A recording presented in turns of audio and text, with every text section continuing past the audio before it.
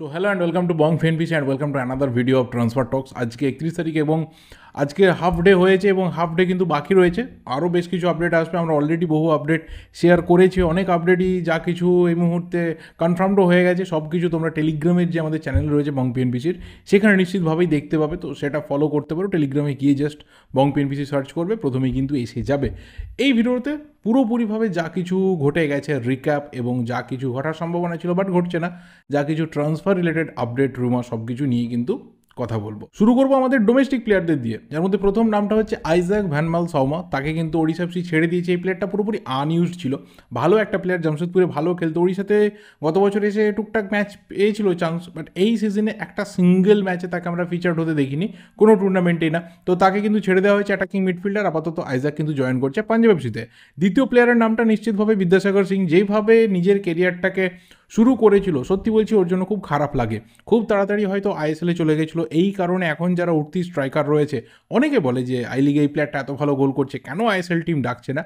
বিদ্যাসাগরকে দেখে বোধহয় একটু আমাদের শেখার দরকার রয়েছে, কারণ একটা প্লেয়ারের সেই টপ লেভেলের জিনিসটা না তৈরি হলে তার যে আইএসএল মুভটা কোথাও উল্টো দিকে বইতে পারে, সেটা আমরা বিদ্যাসাগরকে দেখলে বুঝতে পারি। আপাতত তাকে কিন্তু আজকে কেরালাও অফিসিয়ালি গুড বাই করে দিয়েছে এবং পাঞ্জাব এফসিতে বিদ্যাসাগর কিন্তু জয়েন করছে। বিদ্যাসাগরের জন্য গুড উইসেস থাকবে। বাই সিরিয়াসলি ওর মধ্যে ফিউচার রয়েছে প্রসপেক্ট রয়েছে, ওর মধ্যে পটেন্সিয়াল রয়েছে, কিন্তু ওকে প্রুভ করতে হবে আইএসএলের মঞ্চে। এর পরের বিষয়টা অবশ্যই বলতে হয় নিম দর্জির ক্ষেত্রে, কারণ নিম দর্জি কালকে অফিসিয়ালি যে জয়েন করে ফেলেছে এফসি গোয়া সেটা জানিয়েছিলাম আজকে। অফিসিয়ালি কিন্তু এফসি গোয়া তার অ্যানাউন্সমেন্টও করে দিয়েছে এবং শর্ট টার্ম ডিলে সিগনেচারটা হয়েছে। যারা জানে না, তাদের জন্য আবারও বলে দিই যে সন্দেশ ঝিঙ্গান চোটের জন্য সম্ভবত এই সিজন থেকে রুলড আউট হয়ে যেতে বসেছে। এখনও অবধি তার ডিটেলস জানা যায়নি যে কত দিন, মাস বা কত সপ্তাহের জন্য আমরা তাকে মিস করব। তবে অবশ্যই গোয়ার জন্য যতটা ক্ষতি, আমাদের ন্যাশনাল টিমের চারটে ম্যাচ রয়েছে, মার্চে দুটো, জুনে দুটো, তার জন্য কিন্তু আমাদের ভীষণ বড় ক্ষতি হয়ে গেল। তো সেই জায়গাতে জাস্ট এই যে সিজনটা বাকি রয়েছে এই তিন মাসের জন্যই কিন্তু এফসি গোয়াতে নিম দর্জি সই করেছে। তো অবশ্যই দেখো ফ্রি প্লেয়ার হিসেবে থাকবে। সুযোগ থাকবে গোয়ার কাছে। ফার্স্ট প্রায়োরিটি গোয়াকেই হয়তো দেবে, যেহেতু ম্যানুয়াল মার্কোস রোকা রয়েছে। এবং ইন ফিউচার সন্দেশ ঝিঙ্গানের কন্ডিশন কী থাকছে, তার উপরে বেশ করে হয়তো নিম দর্জির ব্যাপারটাতে এগোতে পারে এফসি গোয়া ম্যানেজমেন্ট এবং ঠিক আছে, একটা ভালো মুভি হলো কোয়ালিটি আমি বলব যে একটা রিপ্লেসমেন্ট কিন্তু গোয়া এই মুহূর্তে পেয়ে গেল। এর পরের ব্যাপারটা অবশ্যই নিখিল পূজারীকে নিয়ে, কালকে রাত্রেই আপডেট উঠে আসে। আইএফডব্লিউসির তরফ থেকে অফিসিয়ালি জানিয়ে দেওয়া হয় যে, নিখিল পূজারি কিন্তু all set to sign for Bengaluru FC এবং আজকে তার অফিসিয়ালি অ্যানাউন্সমেন্টও কিন্তু হয়ে গেছে এবং সাড়ে তিন বছরের একটা চুক্তি। বড় সময় ধরেই নিখিল পূজারি বেঙ্গালুরুতে থাকবে এবং মুম্বাই সিটি এফসি বা ইস্টবেঙ্গল তাদের ভালো অফার থাকা সত্ত্বেও ফাইনালি কিন্তু ঘরের ক্লাব আবারও নিজের স্টেটে ফিরে যাওয়া এটা কেউই হাতছাড়া করতে চায়নি এবং ভালো দুটো মুভ কিন্তু বেঙ্গালুরুর ক্ষেত্রে যে হয়ে গেল এটা বলে দেওয়া যেতে পারে এবং মোটামুটি এই উইন্টার ট্রান্সফার উইন্ডোতে যদি সব থেকে বেটার গেনার কোনো দুটো টিম হয়, তারা নিশ্চিতভাবেই FC Goa and Bengaluru FC FC গোয়াতেও কিন্তু বোরহায়েরা গেছে, ইয়াসির গেছে, নিম দর্জি ঢুকে গেল। একদিকে দেখো বেঙ্গালুরু, তারাও কিন্তু ড্যানি স্ট্রাইকার নিয়ে এসেছে, সানাকে নিয়ে গেল। নিখিল পূজারিকে নিয়ে গেল। তো এই দুটো টিমই কিন্তু সবচেয়ে লাভ করেছে, আমি অন্তত মনে করতে পারি। এরপর কিন্তু অবশ্যই বলতে হয় বেশ কিছু বিদেশি প্লেয়ারের কথা, যার মধ্যে প্রথম প্লেয়ারটা রস্টিন গ্রিফিথ তাকে কিন্তু মুম্বাই সিটি এফসি ছাড়তে বসেই গেছিল। আজকে তাকে অফিসিয়ালি ছেড়ে দেওয়া হয়েছে। যেটা ছিল যে একত্রিশ তারিখেই তার লাস্ট ডেট হবে মুম্বাই সিটি এফসি জবের তাকে কিন্তু অফিসিয়ালি টাটা বাই বাই করে দেওয়া হয়েছে এবং তার পরিবর্তে একটা বড় ট্রান্সফার কিন্তু মুম্বাই সিটি এফসি করিয়েছে, যাকে আমরা সদ্য এই এশিয়ান কাপে খেলতে দেখছি। আজকে রাত্রেও তার ম্যাচ রয়েছে, ইরান সিরিয়া ম্যাচে তাকে আমরা মাঠে নামতেও দেখব। ইন্ডিয়ার বিরুদ্ধেও যেই টিমটা সিরিয়ার ফার্স্ট ইলেভেনে ছিল, সেখানেও কিন্তু এই প্লেয়ারটা খেলেছিল। তেত্রিশ বছর বয়সী সিরিয়ান ডিফেন্ডার থায়ের কোরমা। এই প্লেয়ারটা আপাতত মুম্বাই সিটি এফসিতে রিমেনিং সিজনের জন্য জয়েন করতে যাচ্ছে এবং যথেষ্ট ভালো ডিফেন্ডার কোয়ালিটি রয়েছে। ডিফেন্ডার এবং ডিফেন্সিভ মিডফিল্ডার দুটো পজিশনে কিন্তু তার খেলার অভিজ্ঞতা রয়েছে। প্রচুর বড় বড় ক্লাবে খেলার অভিজ্ঞতা রয়েছে। সিরিয়াতে আল জাইসের মতো ক্লাবে তার খেলার অভিজ্ঞতা রয়েছে। লাস্ট যে সিজনটা মোটামুটি আল ফাতো এফসিতে ছিল, সেখানে এএফসি কাপেও ছিল। তো ভালো প্লেয়ার এর আগে আল আইনে খেলেছে সৌদি আরবের ক্লাব। তো বুঝতে পারছ যে কোন স্ট্যান্ডার্ডের প্লেয়ার কিন্তু হ্যাঁ তার মার্কেট ভ্যালু বলো বা কোন এর আগে কত বড় ক্লাবে খেলেছে, কি করেছে, না করেছে, সেটা ভেবে লাভ নেই। মিডিল ইস্টের যে প্লেয়াররা হয়, তাদের যে ফিজিক্যাল এবিলিটি থাকে, তাদের যে ডিফেন্ডিং এবিলিটি থাকে, আমাদের সবার আগে এই জিনিসটা মাথায় রাখা দরকার। এবং এই প্লেয়ারটা কিন্তু ইন্ডিয়ার বিরুদ্ধে যথেষ্ট একটা ভালো ডিসেন্ট একটা ম্যাচ খেলেছিল।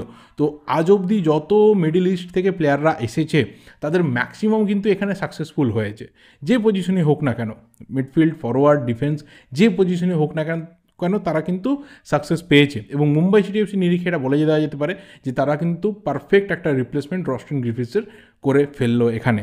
এর পরের ব্যাপারটা অবশ্যই কিন্তু বলতে হয় হাভিয়ার সিভেরো টোরোকে নিয়ে কাল হঠাৎ করে নিজের টুইটার হ্যান্ডেল এবং ইনস্টাগ্রাম হ্যান্ডেল একটা পোস্ট করে বসে যে, এই যে জার্নিটা তার গেল ইস্টবেঙ্গলে এই যে ছ মাসের মতো জার্নি প্রথমে সিলভার ওয়্যার তারপরে গোল্ডেন এটা কোথাও সে এনজয় করেছে টিমের সাথে খেলা টিমের সাথে থাকা সব কিছু এনজয় করেছে এবং টিমমেটদেরকে থ্যাংক ইউ জানিয়ে আপাতত আবারও দেখা হবে ওটা পোস্ট করে, সেই পোস্ট ভাইরাল হতে শুরু করে এবং তারপর লাল হলুদ ঐক্য তারা কিন্তু জানিয়ে দেয় যে হাভিয়ার সিভেরো টোরো কিন্তু ইস্টবেঙ্গল ছাড়ছে এবং তার পরিবর্তে একজন স্ট্রাইকার ইস্টবেঙ্গল নিয়ে আসতে চলেছে।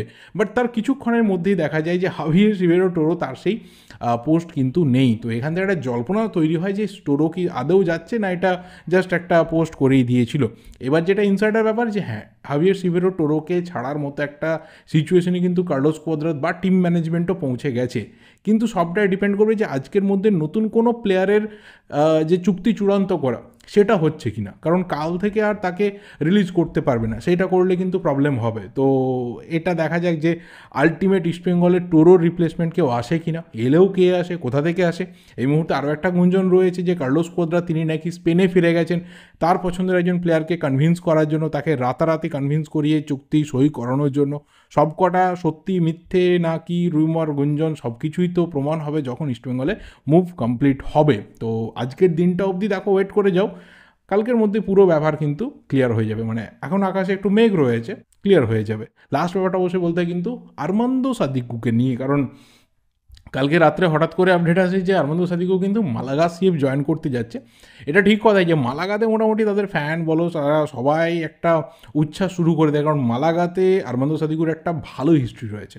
ভালো রকম তার কিন্তু একটা বেস রয়েছে ফ্যান বেস তৈরি করতে পেরেছিল কোয়ালিটি ফুটবল খেলেছিল এবং সেখানে একটা গুঞ্জন শুরু হয় যেহেতু মোহনবাগানে আরমান্দো সাদিকু একদম এই ট্রান্সফার উইন্ডোর শেষ মুহূর্তে এসে ট্রেনিং মিস করছে, তো কোথাও তাহলে হয়তো মালাগাতে তার জয়েন করাটা নিশ্চিত হয়ে গেছে। বাট না আজকে কিন্তু রেডিও মার্কা মালাগা।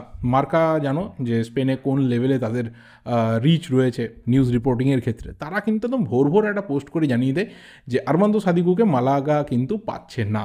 অবশ্যই আরমান্দো সাদিকুর কাছে মালাগার অফার ছিল, কথাবার্তা হয়েছিল নেগোসিয়েশন ছিল সব কিছুই বাট যে ফিনান্সিয়াল টার্মস অ্যান্ড কন্ডিশনস রয়েছে, সেখানে মালাগা গিয়ে রিচ করতে পারেনি। তো এখান থেকে বোঝা যায় যে বিদেশি বলো বা ইন্ডিয়ান প্লেয়ার বলো, তারা আইএসএলে ঠিক কতটা পেমেন্ট পায়। আমরা হয়তো অনেক সময় ভাবি যে আদৌ তারা কত বেশি পেমেন্ট পাচ্ছে, কতটা মার্কেট ভ্যালু দেখানো হচ্ছে। তো এই ক্ষেত্রে এটা বোঝা গেল যে সত্যি ওর মালাগাতে যে অফার ছিল, পুরনো ক্লাবে যে অফার ছিল, তার থেকে হয়তো বেশি স্যালারি তার মোহন বাগান সুপার জায়েন্টে রয়েছে। তো সেটা কোথাও তাকে কিন্তু শেষ মুহূর্তে ভাবিয়েছে এবং আপাতত Sadiqur deal to Malaga is off এটা কিন্তু রেডিও মার্কা মালাগার তরফ থেকে আজকে ভোর ভোর অফিসিয়ালি জানিয়ে দেওয়া হয়েছে। তো এখানে অনেক মোহনবাগান সমর্থক বলছে, ভাই, চলে গেলে ভালো হতো, সেই পরিবর্তে অন্য কোনো প্লেয়ার এলে নিশ্চিতভাবে ভালো হতো। তবে দেখা যাক যে হাওয়াসের সিস্টেমে এই ছজন বিদেশি কীভাবে নিজেদেরকে সেট করে। এর সাথে অনেকে জানতে চেয়েছে যে দু তিন দিন আগে থেকে যাহলে তাহলে নতুন যে বিদেশি আসছে, এই রিউমারটা ছিল। এটা কতটা ঠিক বা ভুল? দেখো রিউমার তো ছিল যে একটা নতুন বিদেশি প্লেয়ার আসছে এবং সেন্ট্রাল ডিফেন্সিভ মিডফিল্ডারই কেউ আসছে। তবে এটাও ঠিক কথা। কালকেও জানিয়েছিলাম যে আসবে কার জায়গাতে? এই ছজনের মধ্যে তো কারোর জায়গাতে আসবে। কিন্তু অফিসিয়ালি কোনো প্লেয়ারের কিন্তু এক্সিটের এই বিকেলবেলা অবধি এখনও অবধি লিঙ্ক আপ নেই। তবে হ্যাঁ ওয়েট করো। আবারও বলছি, যেভাবে ইস্টবেঙ্গল ফ্যানাদের বললাম, মোহনবাগান ফ্যানাদেরও বলব যে, আজকে রাতটা অবধি ওয়েট করে যাও। যদি কিছু হওয়ার থাকে, কোনো প্লেয়ারকে লাস্ট ছাড়া তাহলে কিন্তু যা হবে আজকের মধ্যেই হয়ে যাবে।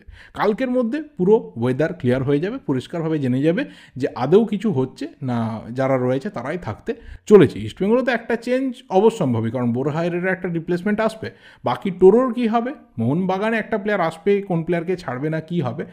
সবটাই কিন্তু রাত্রের মধ্যে ক্লিয়ার হয়ে যাবে। রাত্রের ভিডিওতে আই হোপ কিছু আসার আলো আমি নিয়ে এলেও আসতে পারি।